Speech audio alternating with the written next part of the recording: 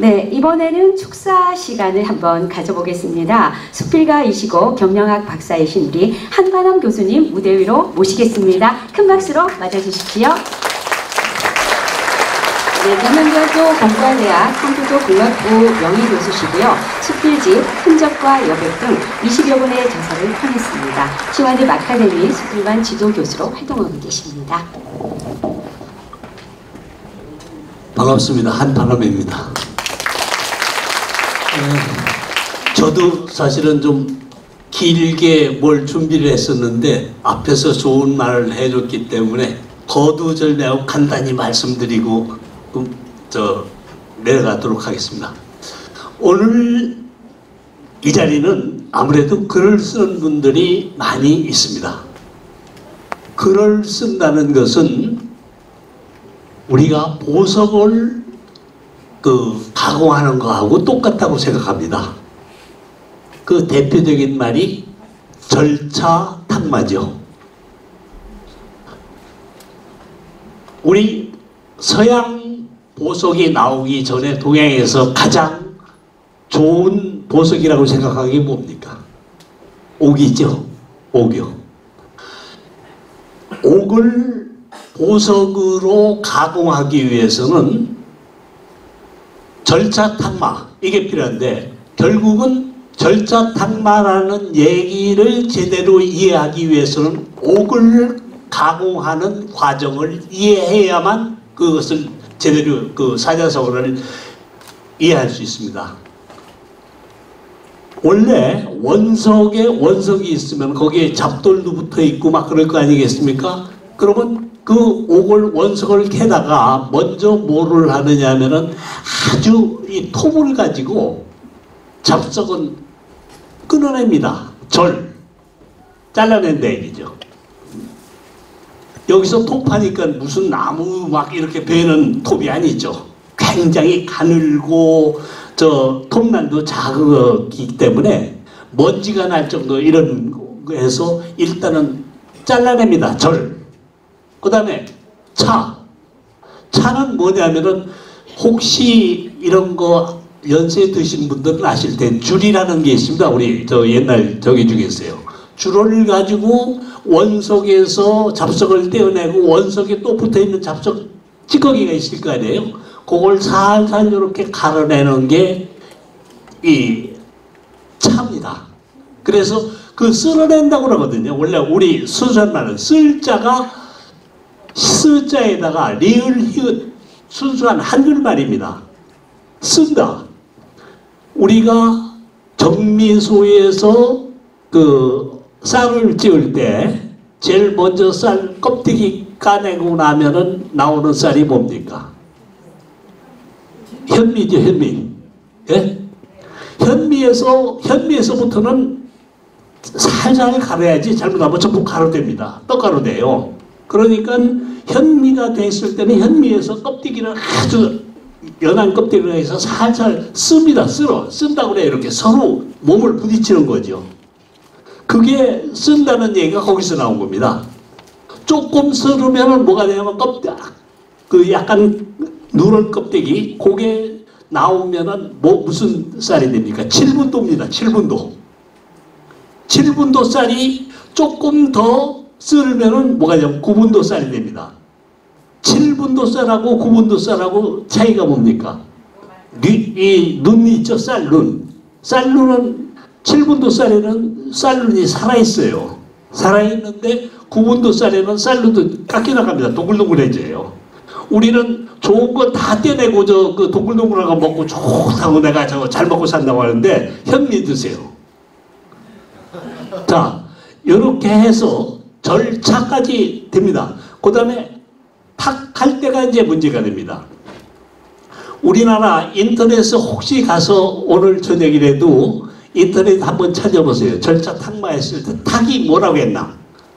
끈을 가지고 그 쪼은다고 그랬거든요. 그 무식해도 한참 무식한 겁니다. 그 인터넷 그거 쓴 사람 다 틀린 거예요. 그거. 끈은 뭐 하는 거냐면 나무에 구멍을 뚫을 때 쓰는 게 끈입니다. 나무에다 왜 구멍을 뚫어서 이렇게 하지 않습니까? 그게 끈이고 돌이나 보석을 할 때는 징입니다. 징으로 해요. 징이라고 해서 막 이런 뭐 그저 그 아니고 아주 가는 거 가지고 탁탁탁탁 쳐서 이렇게 그 쪼아내거든요. 절차 타기 타게요. 그래서 뭐를 만드냐면 구체적으로 내가 원하는 보석의 형태를 만듭니다. 자 이렇게 세 번을 해도 그 다음 번에 또 뭐가 필요하냐? 이 징으로 쓸어내는 데는 조금은 모서리도 생기고 거칠거칠할 거 아닙니까? 숫돌에다 갈아야 됩니다.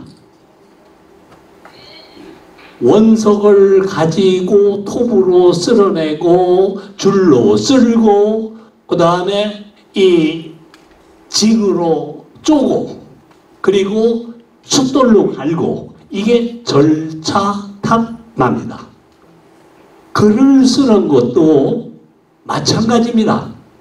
글을 쓰는 게 하루아침에 순간적으로 이루어지는 거 아니거든요. 많이 고민하고, 많이 생각하고, 많이 읽어보고, 여러 가지를 해본 다음에 좋은 글이 나오지, 좋은 글이 뚝딱 나오는 건 아닙니다. 그래서 우리가 글을 쓸 때는 조금쯤은, 한 번쯤은 더 생각하고, 더 고민하고, 해서 좋은 글을 쓸 수 있도록 이렇게 하는 것이 어떻게 되냐. 근데 절차할 때 보통 하- 절차를 그 아까 그 보석을 가공하는 그 과정이긴 하지만 보통의 경우는 뭐라고 해야 되나? 절차를 이, 이, 이 인격 수양 학문 학문이라고 보통 얘기를 했다 절차.